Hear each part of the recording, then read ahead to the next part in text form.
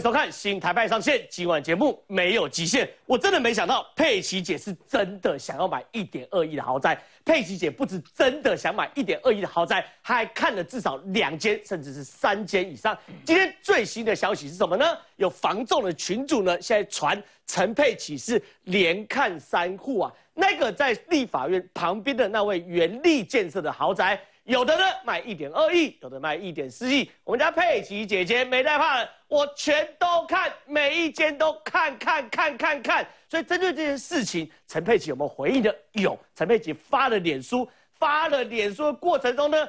坦然的承认了这一切看房看一点二亿的事实哦，我就讲，民众党是个非常有趣的政党。民众党在做危机处理的时候呢，他不是把伤口越缝越小；民众党在做危机处理的时候呢，他不是让问题越来越熟练。民众党做危机处理的时候要止血，我就让血流干就止血了。从他们的天天开记者会查账。这件事情我们就可以看到重点。可问题是，陈佩琪昨天发了脸书，哎，我已经很少看到一个政治人物。你说陈佩琪不是啊？他只是医生，没有。陈佩琪在我们圈子里面就是广义的政治人物，他有媒体影响力，他有曝光度，他的一言一行都会影响到民众党的支持度。和陈佩琪发的这个脸书，槽点满满呐。陈佩琪先说，你为什么要去看房呢？他说呢？因为那个时候三个小孩同时出国了，你的解方既然是去看一点二亿的豪宅，哇！你面对忧郁症面对方式会不会跟一般人差太多呢？陈佩琪接着写说，他有啦，他真有去看房子啊，他千真万确，他真的有啦。可是问题是哦，有没有看名嘴口中的豪宅呢？一点二亿豪宅呢？我的确看过。约略这个价位的房子，陈佩琪是亲口承认哦，他有看到约略一点二亿价位的房子。可是陈佩琪接着说，当时啊，天色太黑，看不清楚，也不记也记不得专案的名称。我就问你，买一点二亿的豪宅图的是什么？图的不就是 location location location？你买一点二亿的豪宅，你图的是什么呢？不就是那个建商？华美以及安全的设计，我就问你们去看车，开台五百万的车，你会忘记你看什么品牌吗？不可能吧？可这么夸张事情呢，陈佩琪就给他写出来，甚至他还说什么呢？为什么要买一点二亿的房子呢？很简单呐，我要鼓励什么呢？要去年嘿开始和儿子商量，我们呢买房子给儿子压力。让儿子非得给我找一门媳妇不可哇！你去施压你儿子结婚的方式是用一点二亿的豪宅哇！那这样我也愿意再结婚啊！不对，我没结过婚。王石琪、石琪姐也愿意再结婚一次，结个婚有一点二亿。这东西，你想你要不要再结婚一次？这个公开是说，当然不愿意。私底下是说，我跟老婆就各分一半。你可以跟老婆同结结两次啊，对不对？对对对。哪有这种事情？你现在是怎样？是王子是不是？还是贵族？你给你儿子施压，叫他结婚方式是去买一点二亿的豪宅？还有这种文章，我就不信这种文章出来，你陈佩琪可以疏解小草的怒火。所以小草呢，现在全速崩溃当中啊。小草崩溃到什么程度呢？小草说：“那是啊，那个小草说，佩奇姐没有错，阿贝买一点二亿的没有错，是把房价炒到一点二亿的人的错。嘿，这件事情真的没毛病的。如果今天房价只有一千万，阿贝就买了吗？对不对？是你们那些炒房的人错。小草还说什么呢？你们这些是仇富，没有道理。你们享受资本主义跟民主自由的好处。”要重复就去加入共产党就好。那我就问阿北在选举的时候，为什么要奚落陈连胜文呢？为什么要高喊居住正义呢？甚至还有小草说什么呢？第一套房的头期是父母出的，然后呢用薪水还房贷，很正常吧？对啦，是很正常啦。可第一套房的头期竟然是一点二亿的房子。然后呢，六成约七千多万，父母出，这应该不是很正常嘛？所以陈佩琪这帮把小草全部逼疯了。可更诡异的事情是什么呢？是陈佩琪以及柯文哲哪里来的钱去买这些房子？我们其实特别找过，这几年现在买豪宅都有一个共同的趋势，全部都是全现金支付。为什么？因为这几年的汇率非常非常不稳定，过去呢房贷一直在升息，所以你豪宅如果借七八千万甚至上亿，对于那一点点的汇率的波动，都会影响到每个月缴房贷金额增加非常的多。所以越贵的房子是越多全现金支付。所以我们就要问柯文哲，你哪来这么多的现金？保守估计七千多万。然后呢，更夸张，你可能是超过一亿的现金去在手上去买这个房子。有趣的事情是，柯文哲其实当台北市长的时候非常讨厌现金，极度厌恶现金。柯文哲当台北市长的时候说什么呢？二零一七年要让铜板纸钞在台北市消失。柯文哲出席所谓的智慧支付数位化论坛，说什么呢？台北市要变成无纸化的城市，柯文哲对于现金厌恶到什么程度？他在台北市的夜市的摊商，还有市场的摊商有被踢爆，厂商爆料不装无现金支付机就不给摊商续约，甚至他在选举的时候，在疫情的时候还说振兴券哦，老师发纸本。很 low 啊，对不对？很 low 啊！我们要去做电子支付。可有趣的事情是，柯文哲被踢爆，他在他竞选总部的木可小物贩卖处呢，既然呢第一天没有发票，既然呢完全没有任何电子支付工具，没有来 Pay，没有 Apple Pay，没有 Any Pay，连刷卡机器都没有，只能领现金。可他是木可小物。竟然完全是纯现金交易，你看不到任何一笔有金流的账。木可小物曾经公开讲，三天赚了七千五百万，这一笔消失的账到底流到谁的口袋呢？这么多精彩内容都在今天节目跟大家讨论。进入节目讨论之前，先介绍今天来宾。第一位是资深媒体王瑞德，瑞德哥你好，大家好。第二位是民进党台北市议员赵一翔，一翔你好，大家晚。第三位是资深媒体康仁俊，仁俊哥你好。大家好，第四位是资深美人王石琪，石姐你好，大家好，你干嘛想再婚了吗？哎呦，不要害羞，你干嘛娇羞啦？就娇羞了起来。我会跟我老公拿到钱之后分一半。假离婚，假离婚，假离婚啊！再来是社民党台北市议员苗博雅，阿苗你好，大家好。再来是国民党台北市议员张委员，委员你好，大家好。好，进入讨论之前，先给大家看一下柯文哲的金流，真的是非常非常奇怪。这么多的政治人物都有选举过，我从来没有看过一个政治人物报账可以报的这么的乱，而且呢，连最基本的收入跟支出都都不拢。有趣的事情啊，今天柯文哲政治现金出大包了，他的政治现金争议再添一窗，金件来自上海市的捐款，来自中国的政治现金，竟然进到柯文哲的户头了。我们看一下相关报道。我们花很多力气在检查那将近十八万笔的收益。合体黄国昌开直播，柯文哲再三强调，花了很多时间查证政治现金来源。虽然剔除未满二十岁支持者的捐赠，但现在又被爆料，竟然有来自对岸的捐款。平面媒体从监察院官网公开资料中整理出，柯文哲的政治现金有十七笔捐款人登记地址不在台湾，其中一笔去年十二月十六号收入的一千元捐款，更是来自上海市普陀区。另外，香港、澳门、日本千叶县、大阪、东京等地也都有捐赠者，总金额超过三万八千元。你不能说哦，我人气很高，我收来的钱全部都是我的，我只要四年内好好运用就好了。可是你收到不该收的钱。自家小额捐款页面还记载捐款。款者必须是本国籍且具选举权，外国籍与陆港澳居民不符。现在却有几笔匿名捐款，不清楚是否为台湾籍人士所捐赠。虽然每笔金额落在百元到万元不等，但也显得格外讽刺。这是公开跟透明啊，这个哪有纪律？这个是一团烂账啊！烂账烂到不知道怎么报的时候啊，乱报那个就会真的会有伪造文书的问题啊。既然现在大家有发现，那我们目前初步看是有身份证的。好，那既然是有身份证，他就可以捐款，不。管他人在哪里，那我们也会重新的来盘点，是不是有没有身份证，或者是有其他人。但目前为止，我们看到是有身份证的。三位总统候选人的捐赠资料，唯独柯文哲出现登记地址来自外国的捐赠者。无论到底是误登还是真有其事，柯文哲的政治现金争议越演越烈。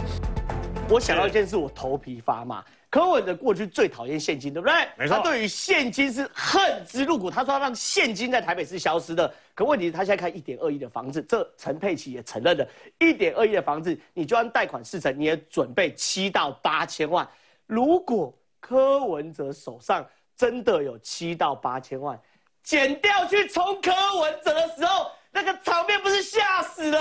呃，事实上呢，我都想起一对门联呐、是对联嘛，哦，过年的时候贴对联呐、娶妻当娶陈佩琪，是啊、十年能住上一屋，对上一屋啊，上一你不要听错夫啊！然后呢，横批改变成真，对真的改变成真嘛，对不对啊？这个就叫白色的力量。对啊，小草欢迎加入，你们继续抖内嘛，啊。那么有关于现金的部分，对不对哦？越来越起人疑窦啊。对为什么？一开始我们看他的那个那笔烂账啊，那笔假账，一开始都说是会计师端木正所为嘛。对那么现在看起来不是这样啊，因为连你们会计自己勾选，然后抄录都会抄错。对你们整个民众党烂占那个这个做账的部分是烂爆了最高点嘛？对。那除此之外呢？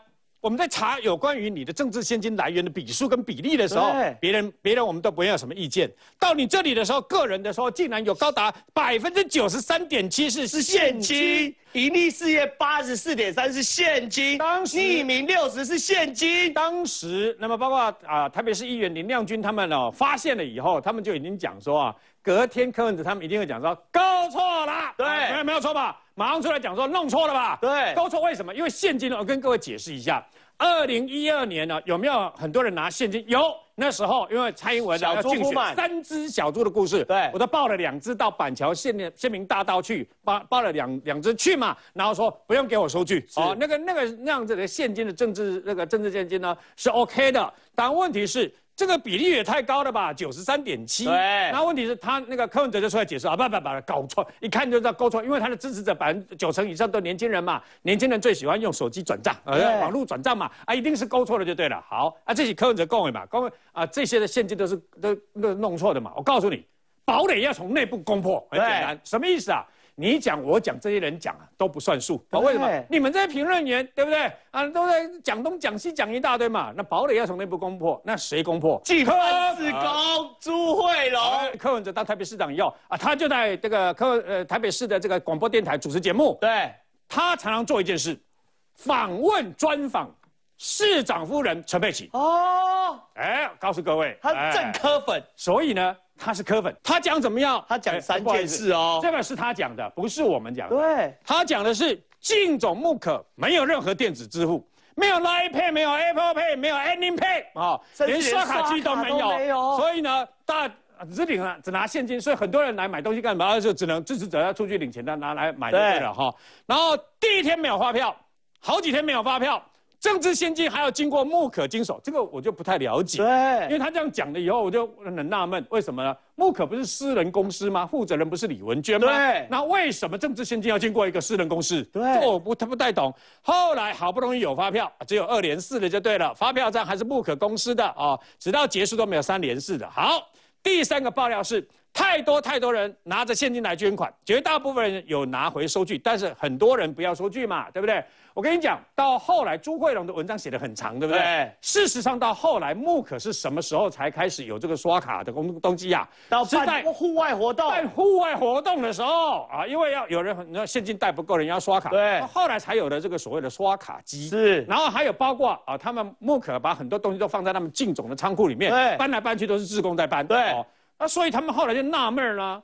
难道这个是民众党的党营事业吗？就木可是民众党的党营，那如果是这样的话，那为什么还要民众党还要付授权金四比一千三百万给他？对，而且仓库放的是民众党的仓库，搬的物流是自工在搬，对不对？而且重哦点是全现金，对，没有错。这些现金呐、各各位看到这个，很多人拿现金来捐款，大部分有拿收据，但很多人不要收据，很多人不要收据，那就会有一个问题，这笔钱就变黑账了。到底有没有在里面嘛？我们讲了那么多天了嘛，记那个民众党、民众党、民众党不是天天要开记者会？对，不是啊，这个开了两天就没开，因为民众党数学天加天等于两天，没错，所以天天就两天嘛，对不对？天天他如果说我天天天开会就三天这样子啊，所以他就天天开记者会，再开两天嘛，到现在也没有解释清楚啊。柯文哲过去最看不起现金嘛，啊，他当台北市长的时候看不起现金嘛，让铜板纸钞在台北市消失，你知道吗？让铜板纸钞在台北市消失嘛，所以他弄了一个什么配嘛，什么台北配。我跟你讲，柯文哲为了推销他那个什么台北配，对不对？是。连去看演唱会都要扫台北配。对。我宁可扫身份证，不去扫身份证进去看演唱会，就是不装你他柯文哲的台北配嘛。那问题来了，啊，那么爱配的人，对不对？这些 no pay 哦，全部要现金，全部要现金，现金不是不好。可是你柯文哲认为现金是很 low 的嘛？对，那你为什么自己说电子支付可以让交易变得更安全、更有效率啊？这时候为什么要不安全、不要效率？因为有现金的，我蒙你了。我我我讲坦白的啦，什么样的人最爱用现金？不是我以小人之心度君子之腹，而是你要知道，天天过路财神，钱从手上收。如果又没有这个所谓不要收据的话，那就只凭良心嘛。哦，现在知道嘛？只凭良心。基本你的财务良心，记账不难，找回良心而已。政治不难，找回良心，那前提要有良心的。对啊，万一良心哦，哎，这几千块、几百块、几十块对吧？好滔滔。我有个朋友，我有个朋友，请一个人来雇的槟榔摊，雇到后来知道他这个做假账，为什么？因为我收的钱比我进账的成本还要少，但是你偷走了嘛？因为良心嘛，是隔壁的那个隔壁的邻家女孩，她还是良心被被被狗吃了嘛？然后很简单嘛。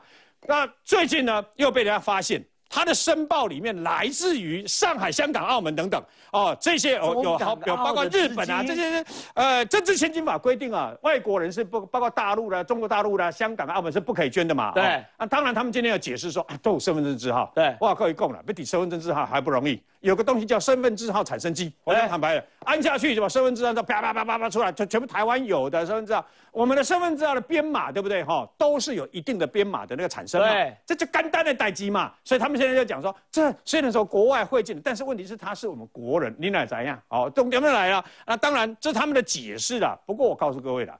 那么从从这笔账爆发到现在十几天了，还说不清楚、讲不明白，然后越来越多的疑惑，让大家有三条线。各位，我做一个总结。那么这几天我们不是都在讲陈佩琪去看一点二亿的豪宅吗？对。哦，我个人认为我们不要欺负他，我们没有欺负，因为他那个一点二亿那个豪宅，对不对？其实是一点二六亿，八十三平四房。对。是里面比较便宜的，相对便宜的，有一点，里面有一点四，有一百平的，他看八十平。所以各位，对不对哦？各位你要知道嘛，如果他们家那么有钱的话呢，对不对哦？真的那么有钱，那为什么不能去看豪宅呢？当然，好，陈佩琪说是因为她进入了空窗期。请问各位，有多少台湾的女人有空巢期的话就可以？比如说，看个一点二亿的房子，扛着臭豆腐还是输压输压，扛着臭豆腐可以走到一个豪宅前面说：“我想进去看豪宅。”你门都没有了，看豪宅，看豪宅没有管道，你还要付一笔豪宅费，你才可以进去里面看呢。所以呢，有时候谎话说多了，又要圆另外一个谎来来圆前面的谎，何必这个样子呢？就直接说你就是为了换房子，只不过你要解释你的现金。哪里来？好，非常谢谢润德哥，请润德哥回到位置上。我想问阿淼，假设柯文哲这种一笔现金，他真的可以去买房子，这笔钱他不可能存银行里，存银行里会出大事。哎，我财产申报才两千五百万，对不对？我去年十一月才两千五百万，结果呢一存变七八千万，八九千会出大事。我的意思是，柯文哲，你以前跟他共事过非常非常久，他对于无现金交易是非常非常执着的。我看到一段话，我毛骨悚然。他说什么？台北鱼类批发市场是国内最大的鱼市场，买方卖方约一千多人，都是半夜带着大批现金或开支票，工作人员还要花两三天处理账务，改用智慧支付后，安全提升，速度也加快。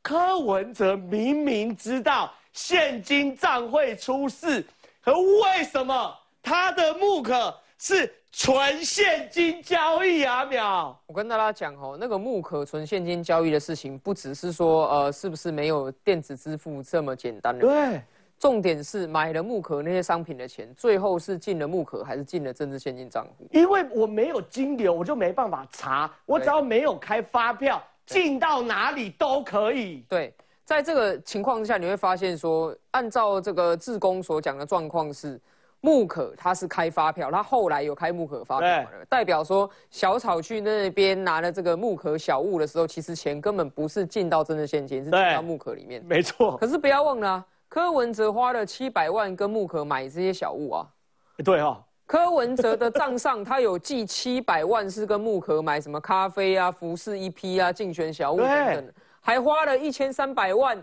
去管理这些小物啊。按照他们的说法，对，哦，你光是花一千三百万去管理价值七百万的货，这已经脑袋有洞了嘛？这你怎么会？哎，对，你怎么会花一千三百万 去管理价值七百万的货？但他就花这笔钱，而且。他买的那七百万的货，放在他进办在贩售的时候，钱又是钱进木可。对，所以那些小物啊，是不是有一物两卖啊？先卖给柯文哲的进总，小草出了钱，再卖给小草，小草小草再出一次钱，然后呢，钱进木可，获利进木可。对，这个是柯文哲他的记者会开了三场，开了两个礼拜，到现在完全说不清楚，就是钱进木可这件事情。对。其实有时候你看柯文哲讲话，你不用看他讲了什么，你要看他没讲什么。他没讲的东西，其实有时候才是重点哦。就是陈佩琪一直在讲哦，房子怎么样？我去看房子不行吗？夏日晚风徐徐啊，凉凉啊，去看啊这些什么？然后大家就在讨论啊，豪宅是不是进得去啊什么？但是你不要忘了，陈佩琪现在把整个话题导向说小草。啊，这个有些还相信他的，啊，这些很精炼的、很纯的，对，还相信他在那边讲阿北有钱不行吗？阿北有钱不行吗？对，哦，先不论为什么会从阿北没钱变成阿北有钱，对，阿北有钱可以啊，那问题是你竞选总部的账如果说不清，再透过木可跟智瑶，人家就一定会问你陈佩琪看房子的钱哪来的？是，就是这么简单一件事，所以那个根源还是在他政治现金的问题。对，那他政治现金里面啊。柯文哲讲的话还有一个特色啦，我们现在发现了，他讲的话只要反着听就是真相，这个很简单哦。他最爱无现金支付，一定要智慧城市，不要通关纸钞，越学越像哦。有这个细菌很多，哎，那你自己的净总的账怎么都做成现金？细菌很多，对，细菌很多啊。资金啊，怎么都行捞？那一看就知道勾错了，不可能，我们都网路小啊。那你怎么解释？你的近半职工讲说，大家小草捧着现金去买你那些商品之后，那些钱就去哪？对，到底是整个账到现在哦，你只在那边交代说，哎呀，九十九块，我写成九十八块啊，差一块钱，两百块的计程车没有报，台北市停车费缴二十块没有报，哎，我们在问的是。你的账上至少乱了两千万嘛？对。那这两千万里面，九百一十六万你用你要跟十二的假账交代，你还有一千万，还有六笔假账没有交代。对。那你这些没有交代的部分，你完全没有办法再去厘清一件事情是，那些前进木可的小物贩售的现金到底哪里去了？对。这个是他现在最大的问题耶。如果说今天呃，刚刚他讲说，如果很多现金是买豪宅等等的，那因为他还未税嘛，对，他还没有签约，但是但是但是如果他家一打开都是现金，那多糗啊！这不止他家一打开都是现金，不是糗的问题，这是惨的问题，真的是惨的问题。这多糗啊！那么剪掉一抽，啪，到时候都现金掉，那多糗啊！这个这个是惨的问题哦。但是我还还要讲一件事情是说，木可的账。木可的账本现在理论上应该在剪掉手上。对，这个是他最大而且最难以处理的事情。对，因为木可的幕后股东有谁？哦，他不是经常讲说，你看他又讲说基金会跟协会是魔界，对不对？对。可是基金会跟协会的理监事跟董监事至少还是公布在法院的网站上让大家看呢。没错。木可的股东，因为他不是上市公司，我们不会有人知道他的股东是谁。对。所以他那个是加强版魔戒。对，柯文哲的话反着听，他不要带魔戒的意思，其实就是他要打造一个超大的魔戒。对，然后呢，你再看他的这整个面对这个所谓的老婆买房子这个问题，基本上他派陈志涵出来，派吴怡轩出来，在那边转移焦点的时候，他有没有办法去交代过去十年间他的财富在房子这一题上为什么快速增加？因为按照陈佩琪今天最新的 po 文，哦，一个啥共性到亏啊？他说我这个要换房不行吗？他就是要换房嘛，他当意思就是说他要换嘛。杭州南路有一间，那现在新一路还有那个大安区有一间，对，两间，意思就是说啊，我一点二亿，我这两间卖了，我一点二亿，你咬我啊？对，啊，就是这意思。那我就问你，这两间的房贷全部付清了吗？你这两间已经完全没有房贷吗？如果你这两间还有房贷，你怎么能说你卖两间之后就立刻可以再买一间新的？对不对？那如果说你这十年间这两间房贷你都付清，因为他这个。把杭州移到他儿子名下，然后佩奇再去买大安区的这一间，那是大概是民国九十九年的事。对，十几年间哦，柯文哲在做什么？他在当台北市长。对，台北市长是死薪水，一个月十九万呢，薪水更少，比台大医院还少。对啊，他的财产应该要缩水的。但是他的财产如果按照陈佩琪先生的说法，已经无房贷一身轻的话，那这个钱哪来的？对，对不对？而且他今天编的故事完全不合理嘛。要卖掉两间旧的，买这间新的，然后又要这间新的是儿子的婚房，那他们俩睡哪里？就与公婆与公婆同住哎，你知道吗？是不是？对不对？王思琪有没有怕？哦、吓死要与公婆同住，我不要嫁了，他怎么会结婚？阿瑶怎么会想结婚？他今天他今天这一篇出来是帮阿瑶斩桃花，你斩桃花，大家看的都吓到啊！对，哎呀，原来是陈佩琪说要叫你赶快找老婆，而且还要与公婆同住，这怎么得了？所以哦，柯文哲他的清廉省钱、高智商、财政纪律这些事已经全部破功了。没错，现在大家在盘点他以前说的话，他骂郝龙斌说什么都不知道的话可以七四一四，对不对？现在他每天都七四一四，不是吗？因为他每天什么都不知道啊。对。所以现在结论。阿北还是诚实的，因为只要把他的话当成反指标，这一切都讲还算诚实的。阿北的话反过来看就是实话啊，不算是不好的事情。可问题是，刚刚讲到重点中的重点，陈佩琪想了三天，终于想要口供啊，因为陈佩琪第一天说溜嘴嘛，都是说他确实有去看一点二亿豪宅，可他想了三天，哎，终于怎么办呢？怎么办？终于想了口供，写了一篇脸书。这边脸书我很久没有看过这么多破绽，然后这么多可以吐槽的地方，什么三个小朋友跑出国啦，所以我有空巢期忧郁症啊。我空巢期忧郁症的时候，我就去看一点二亿的豪宅啊。可是我偏偏看一点二亿的豪宅呢，我不记得建案的名称呐。这些东西说得通吗？哎，一点二亿，这不是一百二十块？一点二亿的东西，你看了半天，而且传出来，你看三间呢，你还不记得建案的名称，所以我们看一下今天的相关报道。拉一下，拉一下脚。万一件事情，怎么会去看一点二亿的豪宅？面对媒体追问看豪宅争议，陈佩琪闪躲，快步上车，避而不答。但在他要出家门前，陈佩琪可是在脸书上发出长篇文。文章中指出，自己确实有看房，但看的是办公室，沿着党部的仁爱林森杭州地段看。针对遭爆料看一点二亿豪宅，陈佩琪虽然强调确实有在立法院附近看房，但因为天色黑暗，路名和建案名称都不记得，这个说法也让绿委质疑疑点重重。这样的写法让大家看不懂，是不是故意要转移焦点？这笔钱到底怎么来，如何来？我想民众党跟陈佩琪都必须要把话说清楚。不仅这三四个月积极看房，陈佩琪更自曝最常看房地点就在临沂街上，因为临沂街像八卦阵，媒体容易找不到人。脸书 po 文中，陈佩琪也强调帮儿子看房，除了是想换电梯宅，另一方面希望能给儿子压力，赶紧找媳妇。但通篇文章却只字未提，外界所质疑自备款七千多万从哪来？他儿子有点辛苦，有点可怜啦，因为呃一直被推到第一线吼，那他人也不在台湾。那他也没有办法讲，为他自己来辩驳。国民党议员游淑慧也在脸书提出质疑：开公司看豪宅是现金太多了。陈志涵隔空反酸：难不成有议员买房都是报现金去吗？台湾国也在柯文哲家门口道路喷漆，但没多久被环保局人员清除。面对种种疑点，外界人士雾里看花。哎，想最可怕的东西来了，今天有传。房仲群主传陈佩琪是连看三户，不是三间哦，就是在那一栋，对不对？原力建设他连看三户，看了十三楼一户，十五楼两户。这个原力建设贵到光停车位就要一千六百万。你各位普通人，你们家可能都没有一千六百万，陈佩琪看了车位就一千六百万。可重点来了，你说这件事表示他的买心很重，而且现金很多，哎。正好我先讲重点好不好？对，陈佩琪一直欠台湾人三个道歉。对，第一个道歉是破坏我们台北的结婚行情啊，结婚行情，婚姻市场结婚行情哪有说要花一亿元买房子才能结婚的？那台湾大家都不要结了。但第二个道歉对中介，为什么？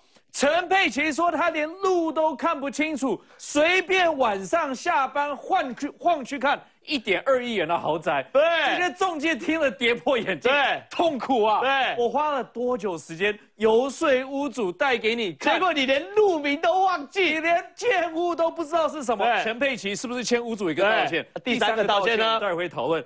陈佩琪迫使台湾人要读这篇烂文章了，是花了很辛苦的时间，终于看懂。待会儿跟大家详细说明。因为时间关系，我们进入广告，回来让一翔好好分析陈佩琪这边脸书有多荒唐。